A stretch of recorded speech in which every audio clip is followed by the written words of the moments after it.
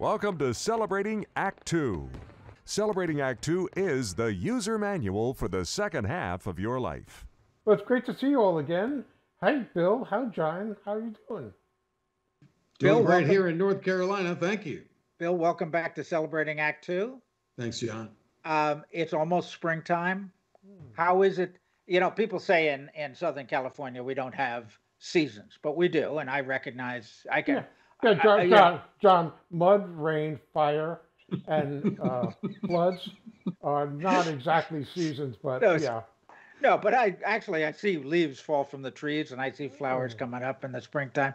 How about uh, it, it? It's probably more obvious where you are in the Carolinas.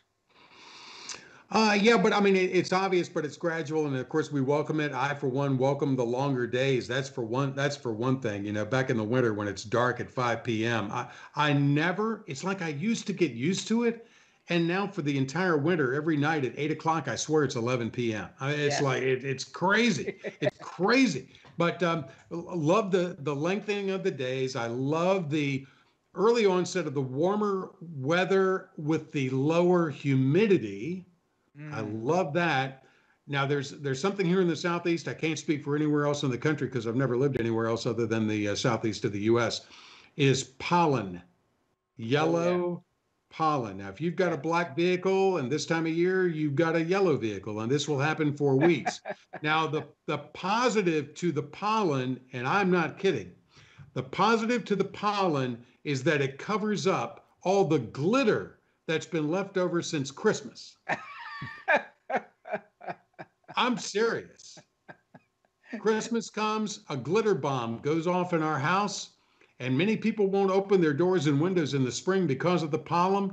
We open them up and just let everything get covered in pollen, and we don't see the glitter anymore. That's, And know- then we vacuum and clean, and then it's all gone that's uh, funny. until next Christmas. Obviously, you don't have uh, uh, serious allergies in your household. Uh, you know what? Not anymore. My wife had allergies. This is a weird sidebar. My wife had the allergies, and I used to give her shots for it prior to having our daughter.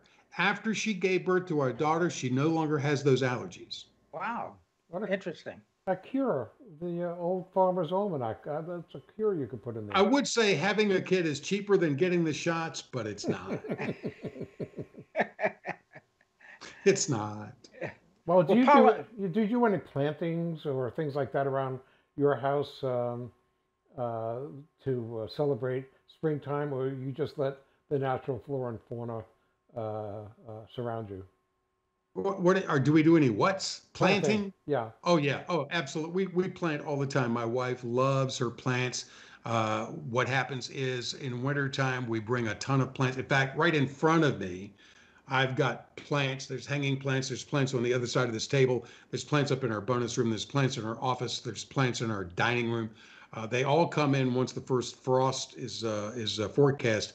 Then as spring comes, we start letting them out and some of those will be planted into the ground. But she's always uh, we're always planting azaleas or something. She loves her plants, man. So yes, we're always doing something. And the first couple of times during the year, uh, during springtime, as far as the mowing and stuff, I kind of like it.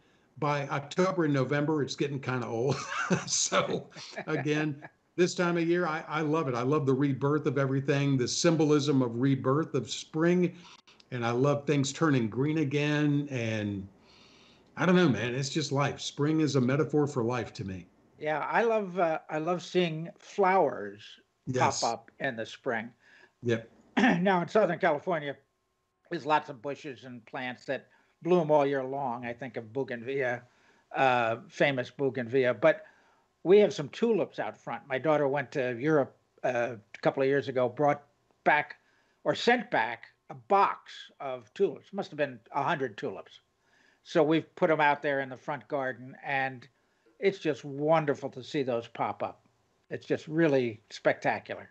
So Yeah. I mean, it's just beautiful. Spring Yeah. is beautiful. Yeah, I, I understand. Yeah, people with allergies, it can be a hassle, and some people do hate the pollen, and I, I, I truly do get that. I mean, especially on our cars, it's like this is this is absolutely insane. Yeah. But I mean, you kind of got to have it. That's the way Mother Nature planned it, so that's what we've got. But uh, yeah, I love the the warmer weather. I love that our neighborhood swimming pool is going to open up. Uh, again after after February, when we get those periods of rain and 40 degrees, I welcome spring. I really do. But except for one thing, Bill, I know having been traveled up and down the East Coast quite a bit, stopping at a Stuckey's in North Carolina, I know that your state fly, your state bird is a fly, the horse fly, right? So It can be. with, with springtime comes the state bird comes back, the horse fly. So Yeah, they're, they're everywhere. But you know what? I bought one of those bug assault guns. You ever seen those? yeah, I, if you give me 10 seconds, I can go get one. okay. Anyway, you load it up with salt and you pump it. It's like a pump shotgun, and Really? you just aim it at. Yeah, it, it gets a little messy in the house, but you know it's hard to it's hard to miss. And you just you know, well, we use them out when we're grilling out or something. A fly lands on something, bam, you blast it with the salt gun. A salt like an assault gun, but it's A S A L T. Not an AK-47 assault. No. No, that's Yeah, a little too messy. say. A little too messy. A little too loud. The neighbors uh, take umbrage at that. Yeah. But it works. It works. It's fun. And here I've been using a fly swatter. all those No, get an assault gun. This is, this is good. Sounds like a sounds like a very male way Oh, to attack. oh, a I love. fly. Oh, I love it. Yes, yes. All right. Well, now I know what springtime is really means to you. it's just thank you. It was sort of a psychoanalysis. Now it's all becoming clear to me myself. And what's the, what's your fa- one of your favorite activities? Because I follow you on Facebook, is that especially on a nice spring day, it's uh, not going to be too warm in the morning, but you get a, a nice cup of coffee and you go out on your deck. And um, uh, where can people see you do that? Uh, because I know that you post that a lot. Is there someplace say they can do they can do that? I'm not sure if I want to see let them see me out on the deck, but yeah, I go out there for my my morning rituals. I've got a set of readings I do, and I do generally go to YouTube. And you know, this is a weird thing. I take my blood pressure every morning, and I just got into this habit. I don't have blood pressure problems, but it's just part of my day to remind me to slow down and breathe slowly. And so I'll put on some kind of like mellow music, Van Morrison hymns to the silence or something like that, and listen to it, slow my breathing down, get my heart rate down, get my blood pressure down. Um, that's all part of the ritual. But I like to do that. Yeah, when the weather gets nicer and a little warmer, I love being out on the screen porch and and hearing the birds singing songs just for me, man. I, and that's how I look at it. So that's pretty cool. So it's all part of the embrace the boom thing. Is this where you wanted me to insert that? Yeah. Because that's what I Bill just never did. Bill never let it be said you And- can't take a hint. And, Okay, well, and is no, there a, a website address that I can wife put? would disagree with that sentiment about not being able to take a hint. Is there a That's a website nother- address that we can put in the lower video. third? Do Bill, what? A, lo- a website address we can put in the lower third. Come on.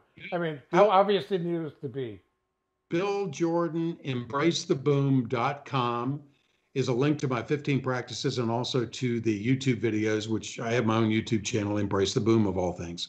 But the notion is for baby boomers to live your life, forget your age, and embrace the boom. Simple. Not easy. Well, That's I'll all. go along with that, Bill. We'll see you soon.